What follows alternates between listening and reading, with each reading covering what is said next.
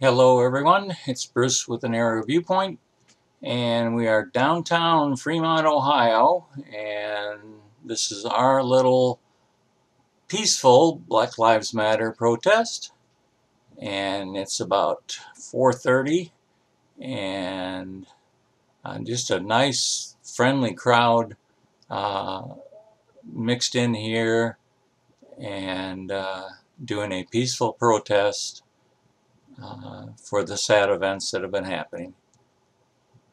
A little bit closer view. And I believe they had uh, a couple ministers talking here. I see several police uniforms. Fremont PD.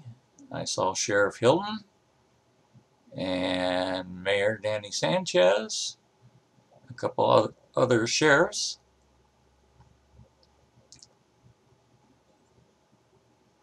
It seems like a, uh, a decent little group and everybody was friendly. Had a lot of people talking to me. This is the way I want to see a protest. Traffic was still rolling.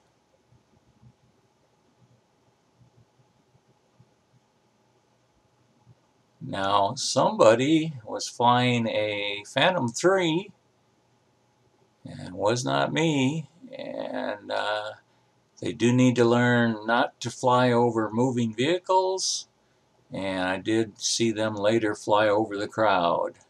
I'm actually hovering over a flower area, uh, flower garden area, and there's nobody beneath me here.